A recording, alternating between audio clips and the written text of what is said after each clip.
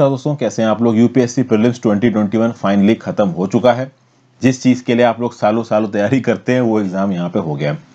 Intentionally ये video मैं थोड़ी लेट अपलोड कर रहा हूँ रीज़न बींग कि जो पेपर दे रहे हैं, वो सेकेंड पेपर देने के बाद ही इस वीडियो को देखें। क्योंकि इस प्रकार की वीडियोस देखते हैं फ़र्स्ट पेपर को देने के बाद तो दिमाग थोड़ा सा ख़राब होता है, बहुत ज़्यादा कन्फ्यूज़न में रहता है दिमाग और सेकेंड पेपर में उतना फोकस नहीं हो पाता है। और अब तो खैर कट ऑफ़ पे डिस्कशन चलने वाला है तीन चार दिन अब कट ऑफ़ कट ऑफ़ ही होगा यहाँ पे। अब एनालिसिस की बात की जाए, बहुत सारे जो मैंने कमेंट्स देखे अपने चैनल पे, जो इंस्टाग्राम पे मैसेजेस आए, बहुत सारे लोग ये बोल रहे हैं कि, सर पेपर बहुत फैक्चुअल है इजी है कट ऑफ़ ज़्यादा जाएगा। बहुत सी जगहों पे ये व्यू पॉइंट देखने को मिल रहा है पेपर फैक्चुअल है इजी है कट ऑफ़ ज़्यादा जाएगा। बट मेरे हिसाब से कट ऑफ़ ज़रूर से ज़्यादा नहीं जाएगा। डेफिनेटली पेपर फैक्चुअल है बट बहुत ज़्यादा ईजी नहीं है। जो लोग कह रहे हैं कि ये बहुत ईजी है, उतना भी ईजी नहीं है ये। बहुत से लोग ये बोल रहे हैं कि करंट अफेयर्स में से सवाल ज़्यादा नहीं आए हैं। सवाल फैक्चुअल आए हैं they are not from current affairs मैं इस बात से भी वाक्य नहीं रखता हूँ, मेरे हिसाब से यहाँ पे करंट अफेयर्स में सवाल है। तीन चार सवाल का कोरिलेशन भी मैं यहाँ पे आपको दिखाऊँगा कि कैसे वो करंट अफेयर्स हैं। कुछ लोग बोलेंगे कि वो स्टैटिक सवाल है बट वो मेरे हिसाब से स्टैटिक नहीं है। They are related to current affairs तो जो मुझे इनिशियली इस पेपर के सारे क्वेश्चन को देख के लग रहा है कि भाई पेपर बहुत ज़्यादा टफ है मैं कहूँगा बहुत ज़्यादा नहीं तो बहुत आसान भी नहीं है। पिछले साल की टफनेस के हिसाब से देखते हो, पिछले साल जो यूपीएससी प्रीलिम्स का पेपर आया था, उसके कंपैरिजन बोलूँगा पिछले साल जितना टफ नहीं है बट बहुत ज़्यादा आसान भी नहीं है। पिछले साल तो हाईली फैक्चुअल सवाल आ रखे थे और वो जो फैक्ट्स इंफॉर्मेशन पूछी गई थी, वो बहुत वैसी लग रही थी कि भाई कहाँ से इनको ढूंढा जाए।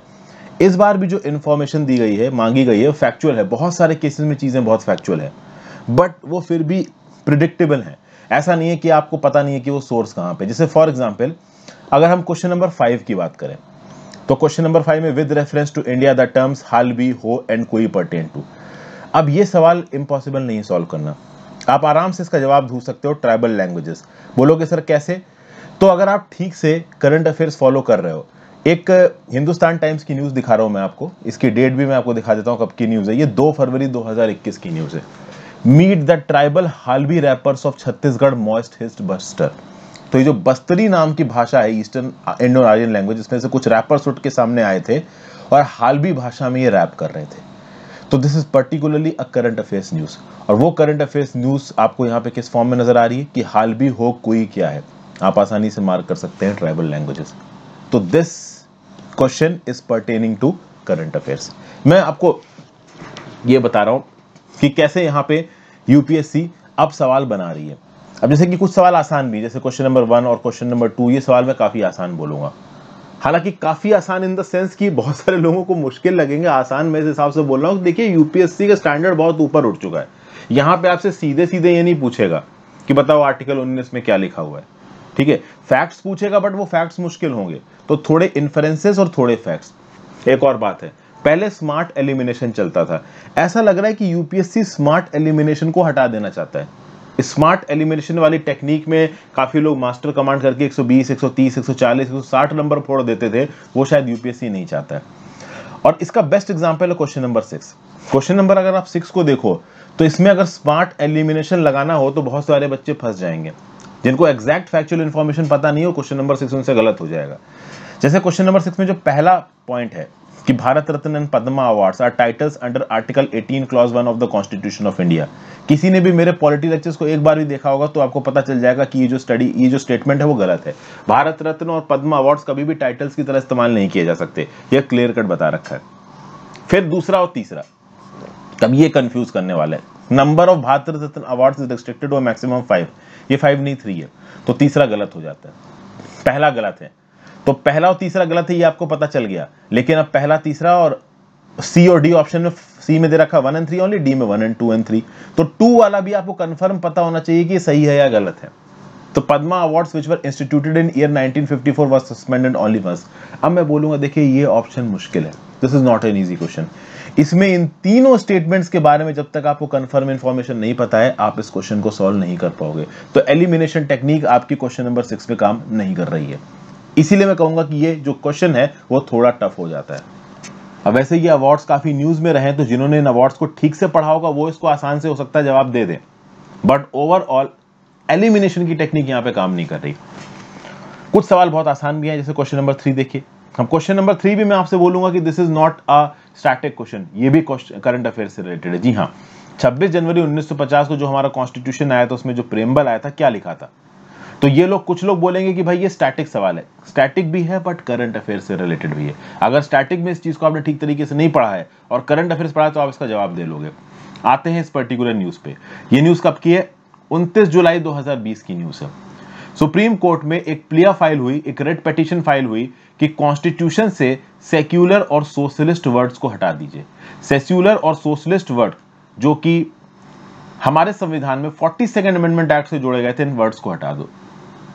तो भाई, अभी के लिए हालात क्या है? प्रेमबल में sovereign socialist secular democratic republic but socialist और सेक्युलर को फोर्टी सेकेंड अमेंडमेंट एक्ट से जोड़ा गया था। तो 26 जनवरी 1950 को क्या लिखा था? A sovereign democratic republic this is the right answer लेकिन बहुत सारे लोग यहाँ पे भी कंफ्यूज हो गए होंगे। ये बहुत आसान सवाल है बट हो गए होंगे लोग कंफ्यूज यहाँ पे।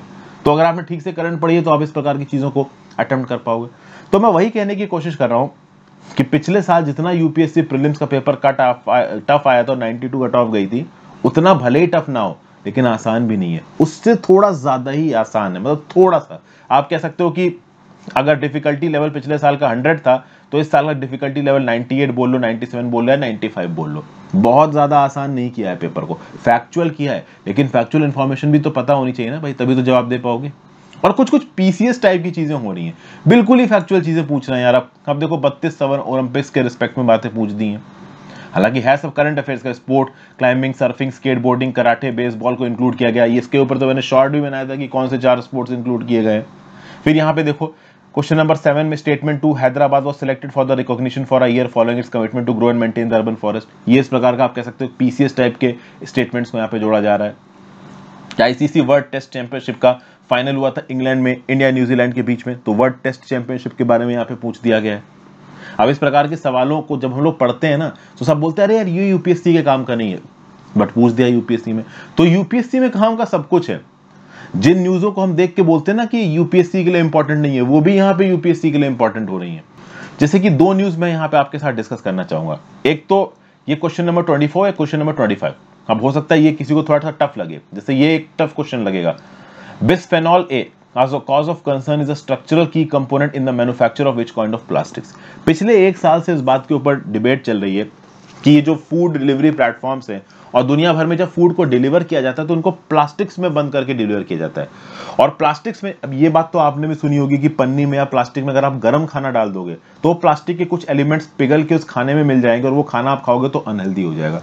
लेकिन वो जो एलिमेंट पिघल के मिलता है खाने में, उसको आप बोलते हो बिस्फेनॉल ए और ये कैंसर कॉज कर सकता है। इसके कंटेक्स्ट में लगभग एक महीने पहले का आर्टिकल है यहाँ पे, तीन हफ़्ते पहले का, सत्रह सितंबर का। हालाँकि पिछले एक साल से चीज़ न्यूज़ में चल रही है। और ओवरऑल ये जो बिस्फेनॉल ए है, इसके ऊपर पूरी दुनिया में डिबेट चल रही है। और ये जो बिस्फेनॉल ए है, इससे क्या बनता है? इससे बनते हैं पॉलीकार्बोनेट प्लास्टिक्स और ये जो पॉलीकार्बोनेट प्लास्टिक्स है ना, इससे बनाए जाते हैं फ़ूड कंटेनर्स वो फ़ूड पैकेट जिसमें आपको खाना डिलीवर किया जाता है। तो कल की डेट में स्विगी या जोमेटो से कोई प्लास्टिक में खाना आपके पास डिलीवर हो रहा है, एकदम गरम गरम खाना आप बोलोगे मज़ा आ गया गरम खा के। लेकिन वो जो प्लास्टिक है, उस प्लास्टिक को बनाने में लगाए बिस्फेनॉल ए और ये बिस्फेनॉल ए कैंसर भी कर सकता है। इसी कंटेक्स्ट में क्वेश्चन पूछ दिया गया आंसर क्या हो जाएगा? पॉलीकार्बोनेट ठीक है? तो सवाल बहुत मुश्किल है बट करंट में है। नेक्स्ट बात कर लो ट्राइक्लोसैन तो ये भी आप लोग बोलोगे, यार, ये तो बड़ा मुश्किल सवाल है, ये कहाँ सुने? Considered harmful when expose to high levels for a long time तो ये किस चीज़ में यूज़ होता है? तो ट्राइक्टोसैन से भी रिलेटेड न्यूज़ है। अगर आप देखें ये आर्टिकल तो this article is sixteen December 2020 triclosan in soap toothpaste harmful to health, ऐसा हैदराबाद ने बोला है। तो कुल मिला के यहाँ पे बहुत सी चीज़ें जो बहुत सारा आपको अनकन्वेंशनल दिख रही हैं, वो एक्चुअली में उतनी अनकन्वेंशनल नहीं है, वो कहीं ना कहीं करंट अफेयर्स में कवर की गई है। हालाँकि मैं फिर से बोल दूँ कि पेपर आसान नहीं है, बिल्कुल भी आसान नहीं है। जो लोग ज़रूरत से ज़्यादा बोल रहे हैं कि पेपर बहुत आसान है, बहुत ज़्यादा फैक्चुअल है, मैं आपको बता दूँ, जब पेपर फैक्चुअल होता है ना, इसका मतलब ये नहीं है कि वो आसान है। इस बार फैक्चुअल प्लस अनकन्वेंशनल कुछ कुछ हद तक पिछले साल जैसा ही है, उससे थोड़ा सा ही आसान है बस। तो यहाँ पे नंबर एक लिमिट से ज़्यादा कट ऑफ़ के बढ़ेंगे, मुझे मुश्किल लग रहा है। आई डोंट थिंक सो कि 95 से ज़्यादा कट ऑफ़ यहाँ पे जाना चाहिए। अब भाई, देखो, हर साल बच्चे बहुत ज़्यादा पढ़ रहे हैं, बहुत पढ़ रहे हैं। तो अब पढ़ पढ़ के भाई बिल्कुल ही बॉन्ड बने बच्चे बैठे हैं और एकदम ही नंबर फोड़ रहे हैं तो हो सकता है सौ नंबर तक भी चला जाए। But 110 115 I don't think so कि कट ऑफ़ इतना हाई जाएगा। तो 100 मार्क्स तक अगर आप स्कोर कर रहे हो तो आई थिंक कि आप कॉन्फिडेंट हो सकते हो। ठीक है? क्योंकि बहुत ज़्यादा कट ऑफ़ यार 110 115 मतलब इतना आसान नहीं है ये सवाल कि 110 115 पे चला जाए यहाँ पे कट ऑफ़ जैसे फॉर एग्ज़ाम्पल आप इस क्वेश्चन को देखो question number seventy nine common carbon metric अब अगर आपने इसके बारे में नहीं सुना है, नहीं सुना होगा, चूँकि ये उतना न्यूज़ में नहीं रहा है तो कार्बन कॉमन कार्बन मैट्रिक में अगर कोई फट्टा मारेगा तो शायद सी पे फट्टा मार जाए डी पे फट्टा मार जाए। बट एक्चुअली में आंसर है ए बिल्डिंग ऑपरेशंस जो दुनिया भर में हो रहे उसके कार्बन फुटप्रिंट को एसेस करना। तो इस प्रकार के सवालों में लोगों ने चांस लिए होंगे और उस चांस के चलते उनके जो सवाल हैं, वो गलत भी यहाँ पे हुए होंगे। तो अब बायोजियो केमिकल साइकिल के कंटेक्स में जो सवाल पूछा है, ये भी इतना आसान नहीं है। तो कुल मिला के पेपर उतना आसान है नहीं जितना दिख रहा है। इसलिए ज़्यादा टेंशन मत लीजिए। पिछले साल अगर 92.51 कट ऑफ़ गया था तो अब 92.51 से नीचे चला जाए, इसके चांसेस तो थोड़े कम है क्योंकि पिछले साल का पेपर मैं बोलूँगा बहुत ही ज़्यादा टफ था। इस साल उतना टफ नहीं, थोड़ा सा आसान है।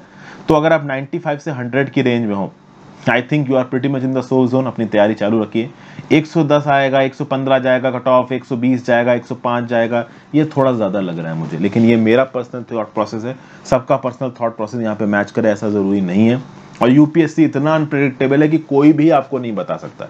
डिटेल सॉल्यूशन तो बतेरी कोचिंग इंस्टीट्यूट आपको प्रोवाइड करवा देंगे आप वहाँ देख ही सकते हो। मैंने एक बस आपको आइडिया दिया है। नाइन्टी तक अगर आप टच कर रहे हो तो अपनी पढ़ाई मेंस की तैयारी रखो।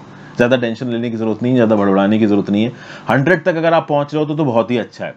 बिल्कुल अपने आप को सेफ़ जोन में समझो और अपनी पढ़ाई करते रहो। समझे? और इग्नोर करिए जो लोग बोल रहे हैं कि सौ से ऊपर हंड्रेड ही परसेंट कट ऑफ़ जाएगा। थोड़ा सा मुश्किल है मेरे हिसाब से अब। हालाँकि यूपीएससी है कुछ भी प्रिडिक्ट नहीं किया जा सकता।